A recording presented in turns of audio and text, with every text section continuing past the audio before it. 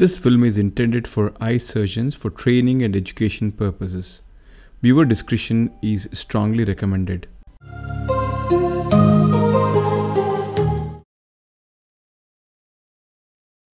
Hello friends, today I'll be talking about the snare. So I'll be sharing my learning experience with the snare which is used for bisecting the nucleus in manual SICS. At the outset, I must congratulate Dr. Anil Shah from Maharashtra, India for designing this wonderful tool many years back. I was fascinated by it and I decided to try it out for myself. I'm well versed with the manual SICS, which I've been doing since years, and my technique has been typically the phaco sandwich technique for nucleus management. In this video, I'll be sharing my experiences with my first 5 cases of using the snare. I will share some of my first few errors which should help in shortening the learning curve of other surgeons who would be wanting to use this device. I did not have any prior experience with this device. I just got this uh, device just a few days back. My orientation for this technique of snare was just that I have seen few videos of Dr. Anil Shah performing the surgery. Let's see how things fare now. This is the first case, an intumescent cataract. The rhexis is done. The nucleus is prolapsed bimanually into the antechamber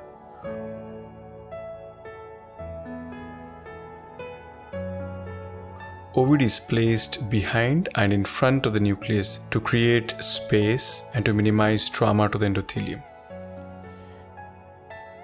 The snare is introduced slowly in a horizontal plane.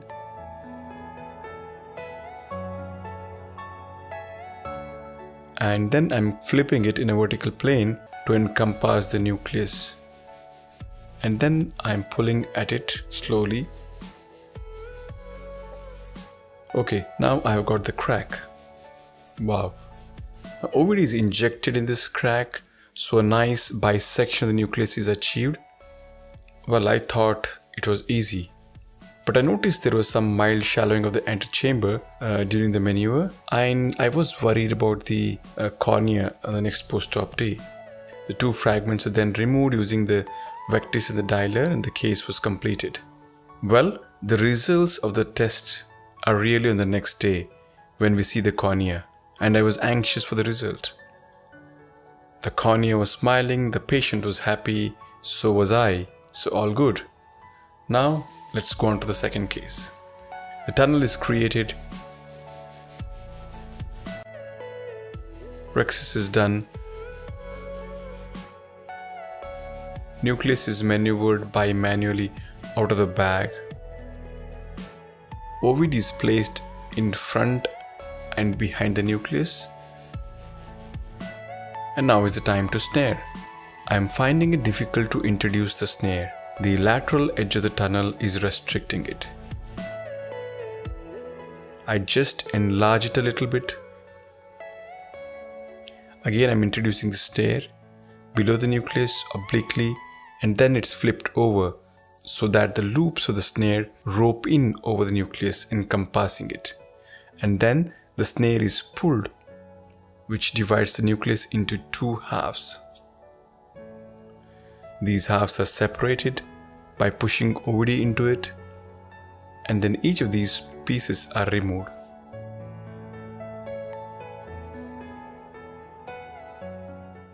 Then the lens is placed into the bag.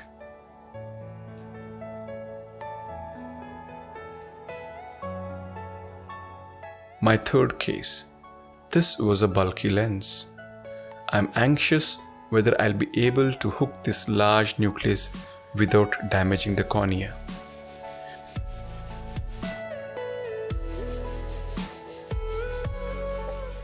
Now, because of the bulky nucleus, I've made the loop of the snare very large, which is making it difficult for me to maneuver inside the chamber. Anyway, with the second attempt, I could rope it in and then the nucleus bisection could be completed effortlessly.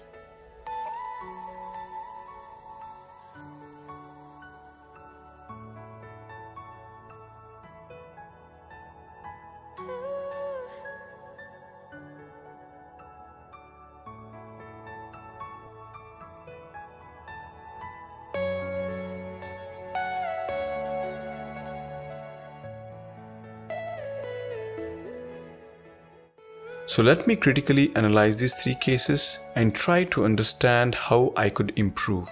Number one, the most common issue which I noticed in all the three cases was when I was trying to pull the string to divide the nucleus, the nucleus is also being pulled towards the wound. This should not happen because when the nucleus comes into the peripheral part of the antechamber, it is likely to rub against the endothelium because of the lack of space in the peripheral antechamber. Number 2. Secondly, while I'm introducing the snare and gripping the nucleus, I was probably putting much stress on the wound, resulting in these corneal folds which are suggestive of shallowing of antechamber and this needs to be avoided. Number 3. While introducing the snare, I was not regulating the dimension or size of the loop. I was entering the antechamber with a wide loop which was causing difficulty in introducing it and the large loop can also cause mechanical damage to the endothelium and also the underlying iris. Although I noticed these shortcomings, the outcomes in each of these cases was just fine. There's no major issue as such because the post-op appearance of the corneas did not reveal any evidence of mechanical trauma. But I definitely thought there was plenty of scope for improvement. So now with this understanding, I planned my next two cases. I essentially understood two important things here. Number one, the act of snaring is essentially a bimanual maneuver. My left non-dominant hand holding the hub has to be still while the right hand pulls the string which is going to bisect the nucleus. What the error which was happening was I was unintentionally pulling the uh, non-dominant hand which was resulting in the nucleus being pulled towards the wound. So with this understanding now, let us see how things will fare. So this is the case number 4. Uh, this is a case of a phacomorphic glaucoma with lots of inflammation.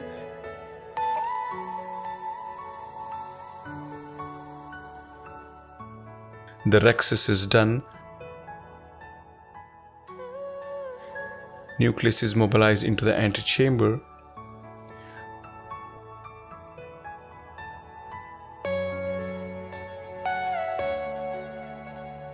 While introducing the loop, I have consciously reduced the diameter slightly so that it can get in easily. Now the loop diameter is increased so that it can easily go and hook the nucleus. So this is done when we're trying to flip it. And once it is roped in the nucleus, the string is pulled resulting in complete cracking of the nucleus. So let us rewind and see.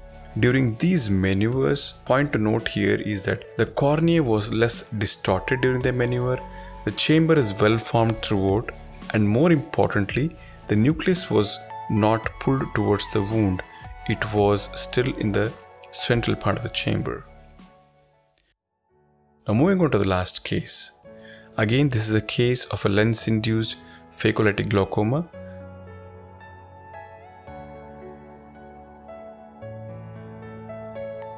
the rhexis is done. Nucleus is maneuvered out of the bag. I am putting OVD behind the nucleus. During this maneuver, I nudge it towards my right side just a little bit. This would give me more space to maneuver the snare from one side so that the hooking of the nucleus is much more easier. The snare is then introduced the size of the loop is regulated, its width is less while introducing into the antechamber and then increased just a bit to hook the nucleus. Then the string is pulled resulting in complete bisection of the nucleus.